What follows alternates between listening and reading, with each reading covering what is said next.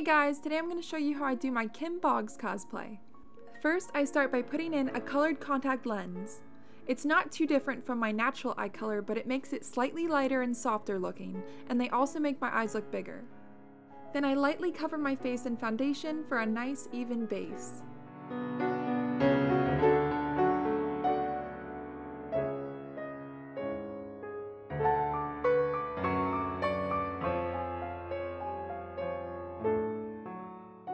With a medium brown eyeshadow, I contour my nose to make it look more like Winona's. Her nose is a bit smaller and sharper than mine.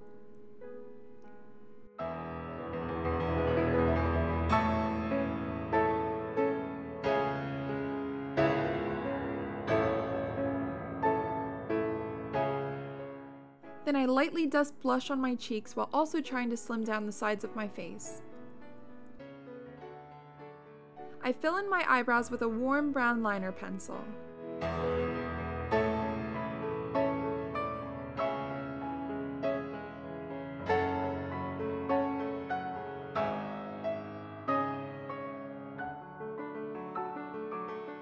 Then I soften them with a blonde colored eyeshadow.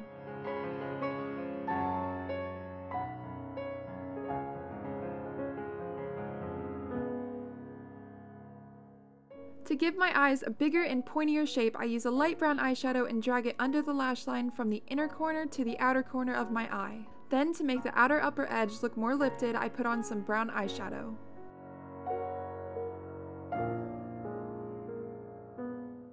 Then I take some off-white highlighter and put it on the inner corners of my eye.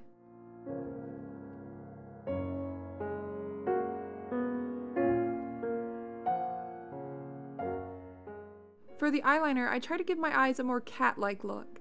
I draw the line a little further past the inner corner of my eye and a little longer and more upward on the outer corner.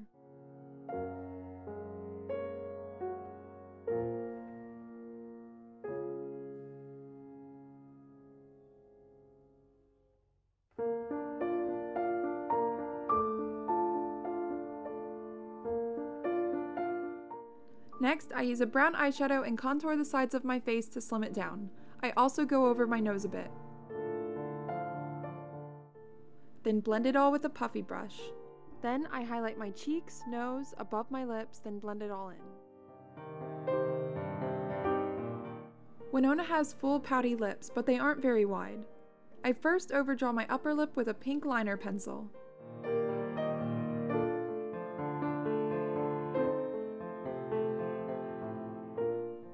Then I fill in my bottom lip as well, but I don't draw it as wide. Then I go over it with a rosy pink lipstick. When I'm done with the lips, I go back to the eyes and trace my lower lash line with a warm brown liner pencil. I also line my top one a bit.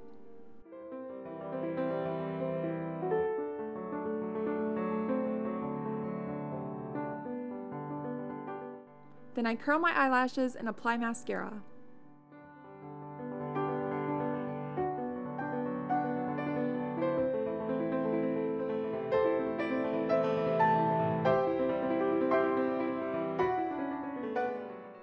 also want to define my eyelids a bit more, so with a dark brown eyeshadow I fill in the crease of my eyelid.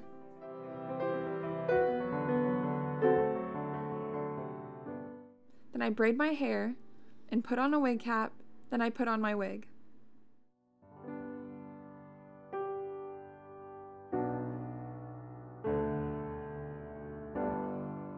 It's been stored in a bag so it needs some brushing and styling.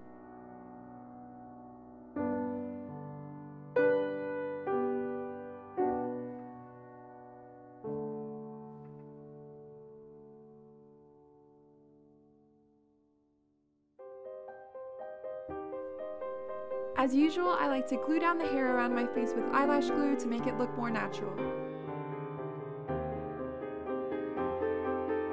And that's pretty much it.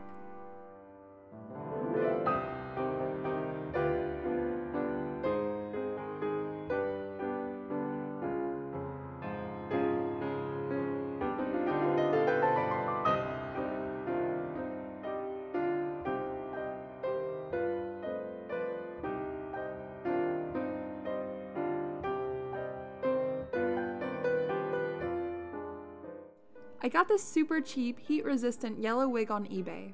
It's obviously not the right color at all, but Kim's hair is an unnatural blonde color and I thought this would be a good base for it.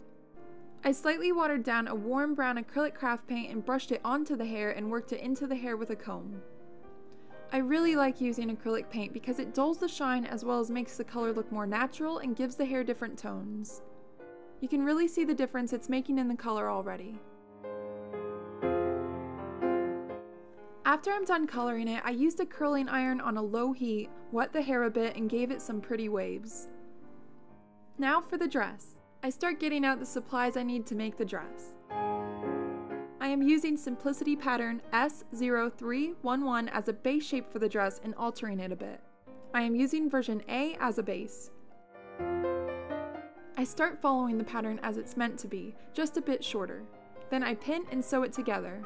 After that, I put it on and fold down the top because Kim's dress shows her shoulders. And then I draw a line at the bottom with chalk so I know where to finish the end of the top half of her dress. I cut off the excess fabric.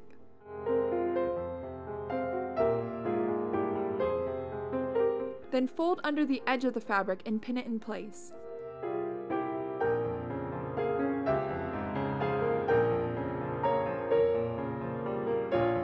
After I'm done pinning the edges, I run a stitch through them. Next, I use the same pattern but only cut out the skirt half. Then I pin the skirt to the top half of the dress.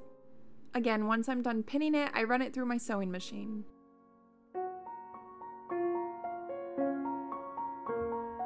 After I'm done sewing the dress all together, I hand stitch a bunch of pretty pearlescent buttons down the middle of the top half of the dress. I use the same pattern to make the sleeves. I just cut them to the right length and sew them to the ribbon around her shoulders. For the band around her shoulders, I just made a simple pattern myself and sewed it on. Then for the buckle, I cut some craft foam into the shape I wanted, then covered it in fabric with hot glue.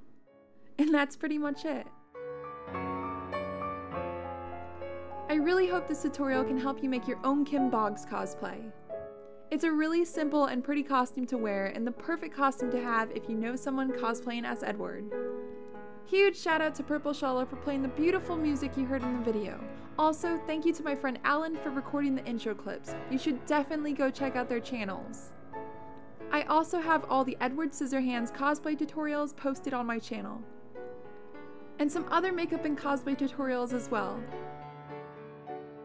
Thank you so much for watching guys, bye!